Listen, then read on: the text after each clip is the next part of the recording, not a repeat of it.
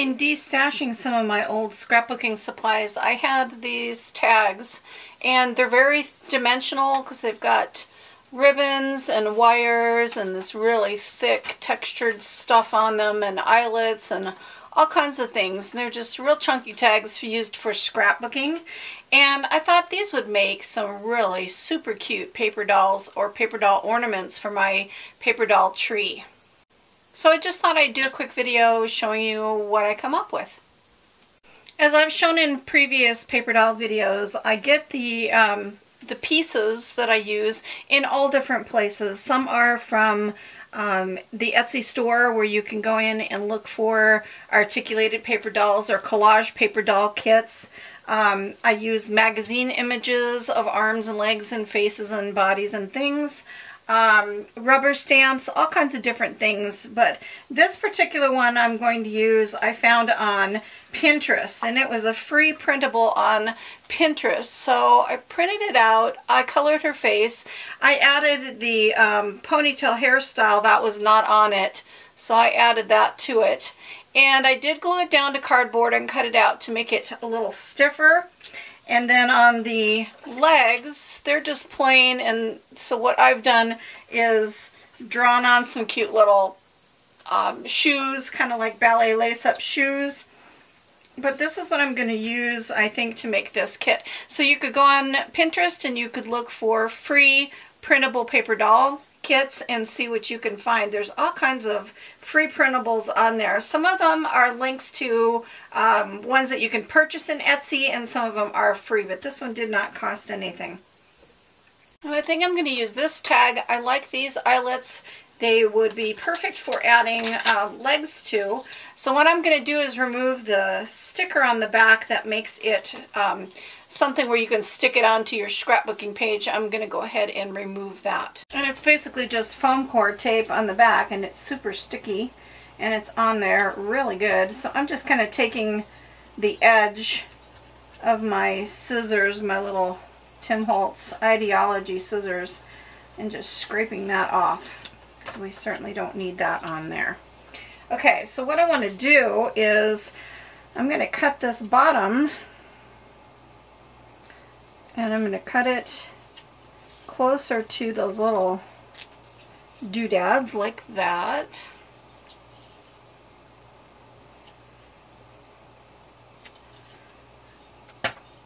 I like that. That's cute. I have an idea in mind. And that's what the fun of this is for me. Um, I don't know about you guys, but I love to find bits and pieces of this, that, and the other to create these out of, you know, so make them out of different things that are things you wouldn't normally think of and things that might be um, kind of fun and unique to try. And it just makes them whimsical and interesting. So at the top here, what I'm going to do is just take my scissors and just cut a little notch out like that where I can put that right up here like that. And really you could do this with any tag, so this is a kind of a fun idea that could be workable for any tag. I just like these um, decorative tags because they already have interesting doodads on them for creating this doll. So the bottom half of this I don't need. I'm going to cut it off at the hips. I don't need that piece, so I cut that piece off. And I'm going to save it because you never know when it'll come in handy for something else or another doll. So that's going to be like this. And this tag paper is a little bit thin because it's basically was designed just to go on a scrapbook page. So I am going to um, glue it down to some uh, piece of file, old file folder that I've, I'm upcycling or recycling.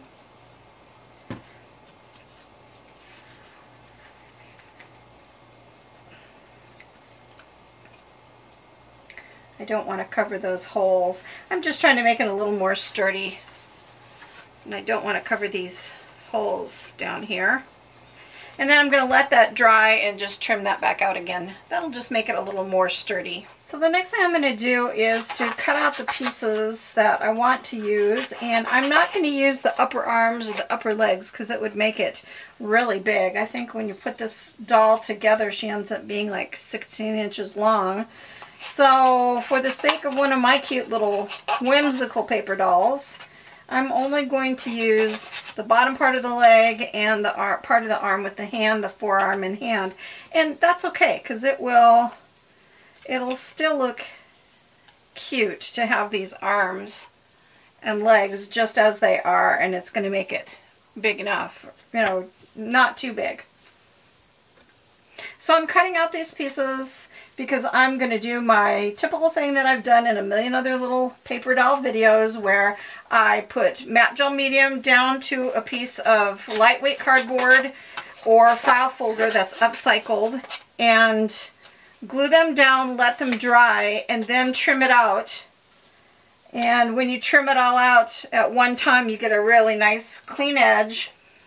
So that's what I'm going to do to make my arms and my legs a little bit stiffer and thicker to work with so they're not so flimsy just on cardstock.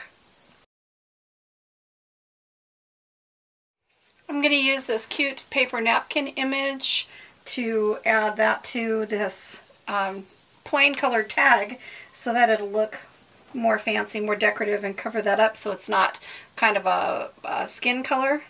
Use a water brush to kind of um, remove the pieces that I want to use. Just get it wet and then tear it.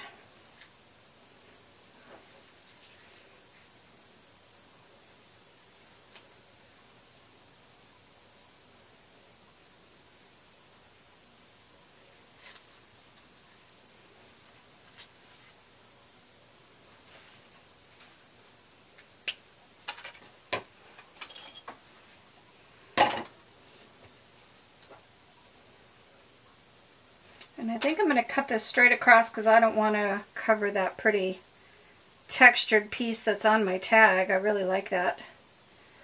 So if I cut this across, then I can put this down right up to that edge.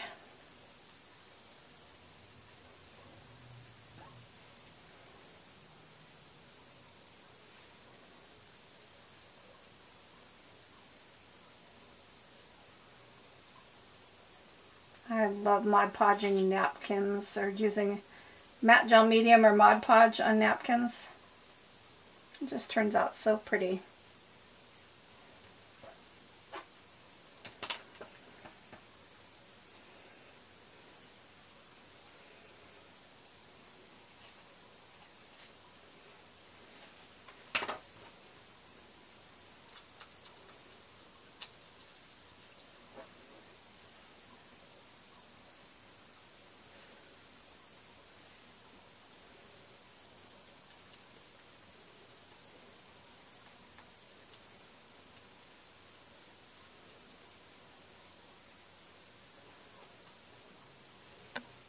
And then I'm going to let that dry. These are drying before I cut them out. I'm going to color them with uh, Neocolor 2. I'm using Flesh. That is the name of it, Flesh. You can see that. It's Flesh. And the number on it is 7500.042. And then a water brush. And I'm just going to add some color to these. Just color them with my water brush tipping off the crayon.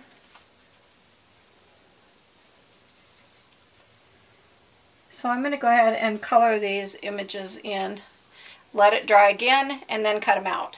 So here they are colored and cut out, and the coloring is just subtle, and on camera you really can't see it. See down here is not colored, and this up here is. I just put one single layer just to just to add a little bit of tint because a lot of it's going to get covered up. So anyway, here's my tag with my napkin, and if I flip it over and from the back side, I can just trim that off. you can see what you're doing when you flip it over and cut from the back. This would be so cute on any tag. You could take any manila tag and Mod Podge a napkin to it and cut it out and make it into a doll body. And then down here I'm going to just trim that off. Okay, so that's what that looks like. It's super cute. I like it.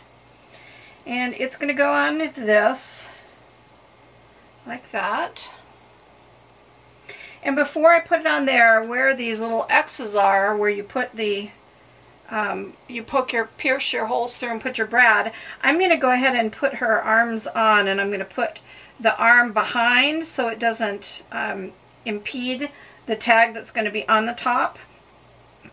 And I'm going to put my, pierce my little holes and put my brad through, but then I'm going to show you something else I'm going to do to it. So I'm taking a paper piercer and I'm going to just poke a hole where that X is through that, through the girl and through her arm.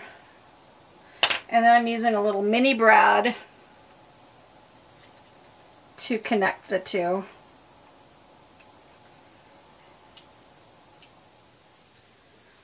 Like that. Okay, I'm going to take this little punch that's a heart. It's kind of a whimsical heart. And I'm going to punch out eight little hearts.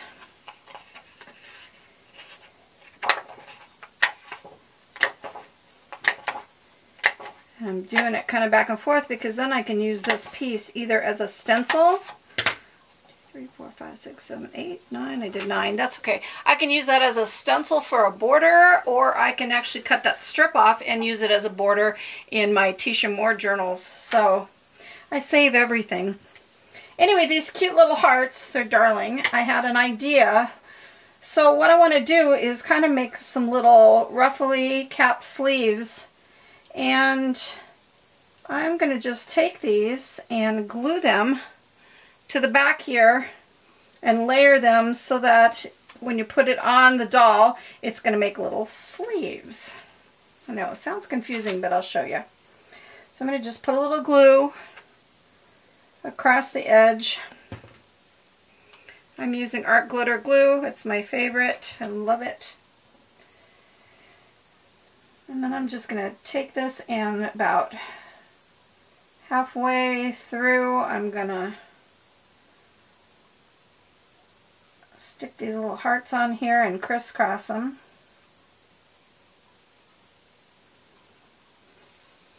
Like that. I'm going to do it on both sides. So really I only needed four. I used, I cut way too many of them, but that's okay. I'll find somewhere else to use them.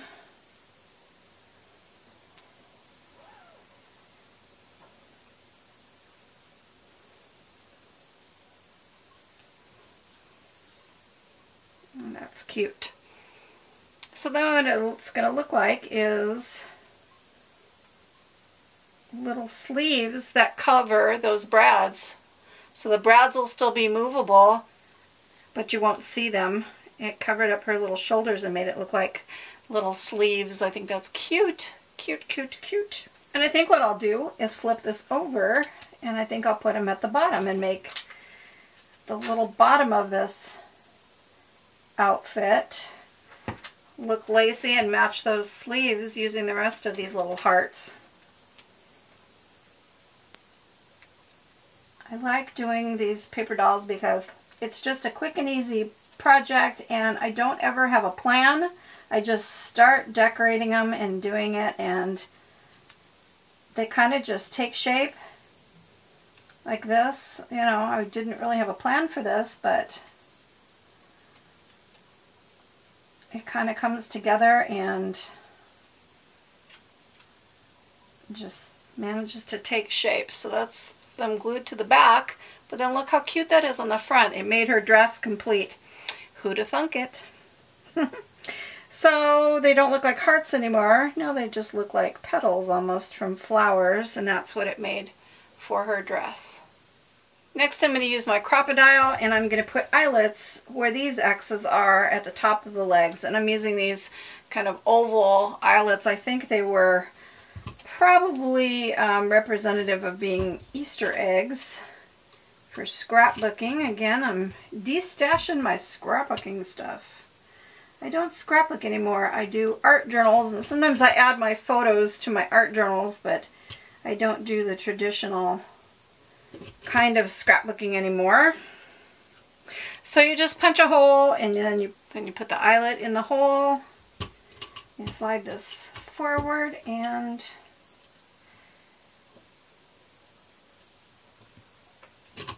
set the eyelet like that. So I'm going to use super tiny skinny ribbon to attach these legs to this body and I haven't glued it to the upper part yet because it's easier to work with when they're separate. So I'm going to go ahead and do this first. And you want to go front to back with the ribbon. So you just feed the ribbon front to back through the body, through those eyelets that were there, and then front to back through the leg that I'm attaching. I've done this in another video on my paper dolls um, where I did the hippie girl with the wild hair. Okay, and then you're going to flip this over. Make sure your ribbon is nice and flat and all going the same direction just so it'll look nice.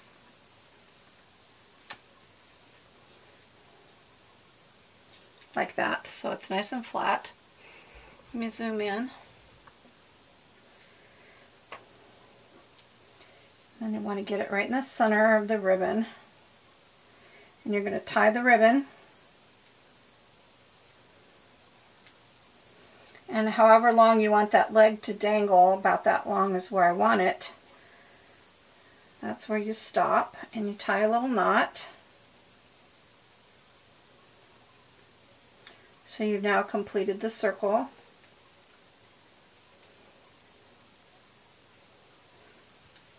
Like that. So it's front to back, it's a loop you can see. And then you take these two tails, when you flip it over again, you take the two tails and you bring them around to the front and you tie them and make a bow. And what you've done is created the I'm not sure that I even want a bow. I don't know. Let me try the other one and see. But when you tie it, see now you've attached this leg and it dangles and the ribbon becomes a ribbon loop a ribbon attachment instead of using um, an, a jump ring or a piece of chain on jump rings. You could do that as well. That looks really cute, but I thought for the space, this would look best to use ribbons. So I'm going to go ahead and attach the other leg the same way.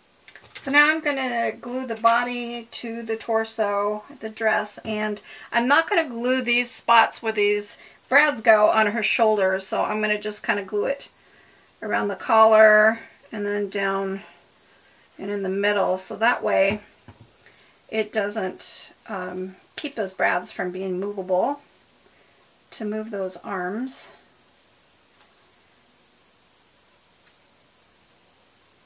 Just like that. Super cute. She's super cute. And the next idea I have is to take, these are butterflies, they're on little um, wire stems. They are, you can find them in your craft store or your dollar store. I think, I think these might have come from Dollar Tree, dollar store. And um, they're meant for doing like flower arrangements or putting on it, sticking into the foam on a wreath, things like that. And I just thought these would make such a cute butterfly girl. So I'm going to take one of these. I'm not sure which one yet. I need to see which one looks better. Look how cute that is for adding wings. So cute. In fact, I think the orange would even be better. Yep, I like the orange because there's orange in the flowers here from that napkin, so I'm going to use the orange ones. So what I'm going to do is just um, take my wire cutters. Oops, I didn't even need them. I just remove that wire and take my little scissors and I'm gonna let me see if those will come out too. Yep. Pull out the antennas. Don't need those. And I'm going to leave it just like this because since this is a paper doll that's not, doesn't need to be flat, it's not going in a journal, it's going to be hanging from my paper doll tree. It doesn't matter that it's kind of thick. It'll kind of give it some weight and balance. And these are made out of feathers, if you can see that. They're bird feathers that they dyed colors. And so I'm going to just put some glue on that and I am going to glue these to the back of my doll. Now I'm clamping it with a clamp so that it can um, stay in place and dry. In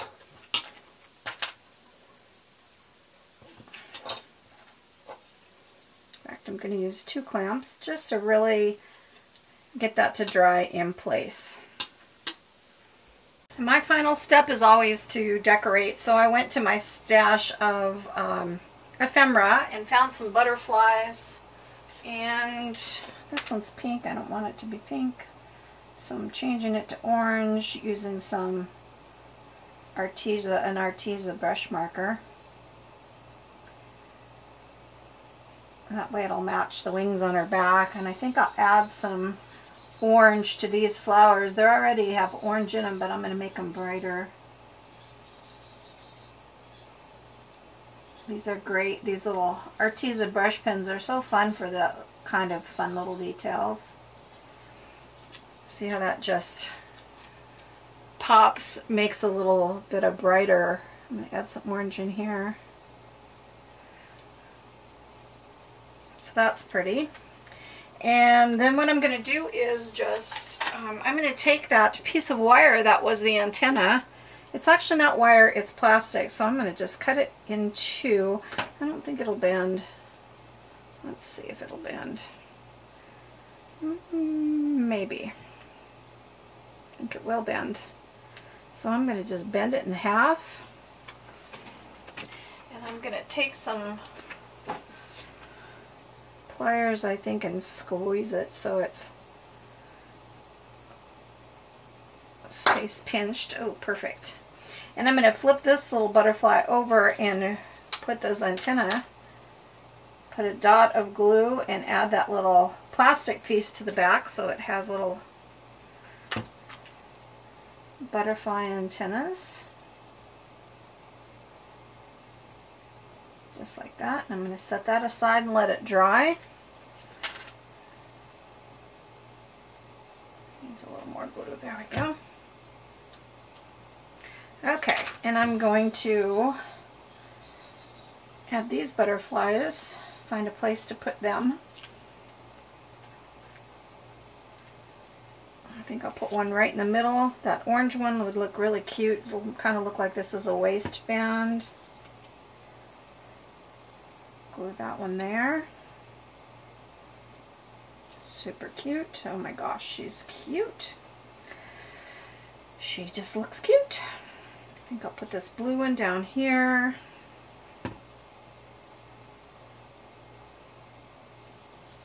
Kind of half on and half off. This is always my favorite part, adding those cute little details to everything. I like to take Glossy Accents by Ranger, and I have them in a little fine point bottle, and I put those on her lips to make her lips glossy. So it's all these cute little fun details that you add that makes your girl special.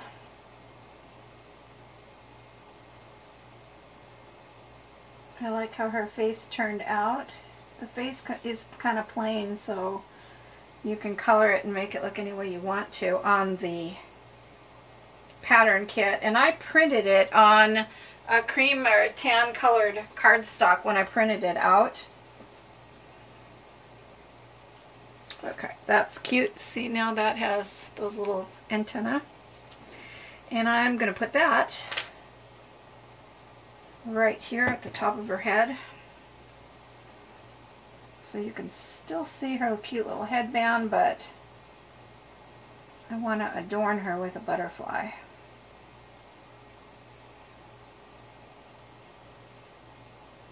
gosh, so cute. And I'm going to take some black Nuvo drops. It's shiny and kind of looks um, shiny and, and uh, opaque and I'm going to cover the tips of her shoes in that because then it'll just make her shoes look like they're patent leather.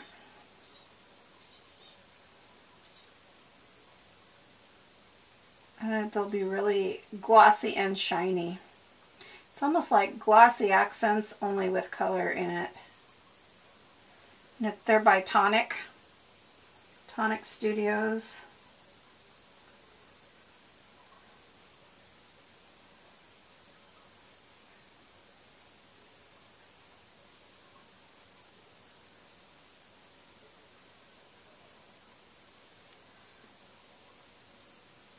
And then it does take a while for that to dry, so I'm going to leave it laying flat while that dries. For the hanger, I'm just taking a piece of embroidery floss and I'm going to figure out how long I want the hanger. I want it to be able to go over branches, so I'm just going to tie a knot in the tails, snip it off, and then put a dot of glue on the back of her head and glue the hanger to the back of her head. So this is how she turned out. There's a butterfly on her head, on her headband, and her wings made of feathers, and her cute little dress that was out of a scrapbooking tag that I added napkin to, and then punched out hearts for the bottom of her dress and the sleeves of her dress. She has her little movable arms, her little ribbon attached legs. And all I need to add now is just a hanger because I am going to um, hang her on my paper doll tree. So I hope you enjoyed this and had fun and maybe it'll give you some ideas to look around, see what you have, and see what you can put together to create a fun paper doll with. Thanks for stopping by. Until next time, have fun. Go make art because art soothes the heart.